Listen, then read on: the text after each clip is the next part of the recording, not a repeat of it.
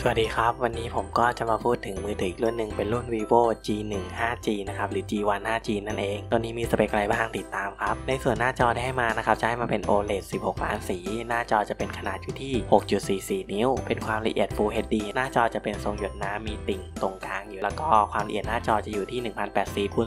2400 พิกเซล ตัวนี้เป็นอัตราส่วน 20 ต่อ 9 นะครับ เป็นกระจกแข็งด้วย ส่วนกล้องหลังที่ให้มานะครับ ให้มาทั้งหมด 4 ตัวเลย มีเลนส์หลัก 48 ล้านพิกเซลนะครับ แล้วก็เลนส์ที่ 2 เป็นมุมกว้าง 8 ล้านพิกเซล ส่วนเลนส์ที่ 3 เป็นเลนส์ macro นะครับ ถ่ายระยะใกล้เหมือนถ่ายพระอะไรอย่างนี้นะครับ 2 ล้านพิกเซล ส่วนเลนส์ที่ 4 เป็นเลนส์วัดระยะลึกตื้นนะครับสำหรับถ่ายหน้าชาร์จหลังเบอร์อีก 2 ล้านพิกเซล ตัวนี้มีไฟแฟลชแถมมาให้นะครับ พร้อมกับ HDR ถ่ายสำหรับที่มืดอะไรอย่างนี้ ตัวนี้บันทึกวิดีโอได้ 4K 30 เฟรม และ Full HD ได้ 30 เฟรม ส่วนกล้องหน้าให้มา 1 ตัว ความละเอียดอยู่ที่ 32 ล้านพิกเซล บันทึกวิดีโอได้ 4K 30 เฟรม และ Full HD 30 เฟรม เช่นเดียวกัน ในส่วนสเปคที่ให้มา ตัวนี้จะให้มาเป็น Exynos 60 นะครับ 8 นาโนเมตร ตัวนี้รองรับ 5G นะครับสำหรับ CPU ของ Samsung ตัวนี้ ตัวนี้ให้แรมมา8 g b และ ROM มี 2 ขนาด มี 128 กับ 256 เป็น Android 10 ด้วย ส่วนแบตเตอรี่ที่ให้มานะครับ คาดว่าจะให้มาอยู่ที่ 4,500 มิลลิแอมรองรับชาร์จเร็วด้วยนะครับ อีก 18 วัตต์ ตัวนี้รองรับ 5G แล้วก็มีบลูทูธ 5.0 เป็นพอร์ต USB Type C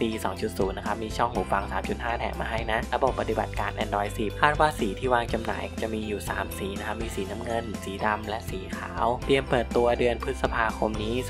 2563 ราคาคาดว่าจะอยู่ที่ 13,900 บาทนะครับ ถ้าท่านชอบข่าวสารของเรารบกวนกดไลค์ กดติดตาม กดกระดิ่ง เพื่อเป็นกำลังใจให้ผมด้วยนะครับ ขอบคุณมากเลยครับ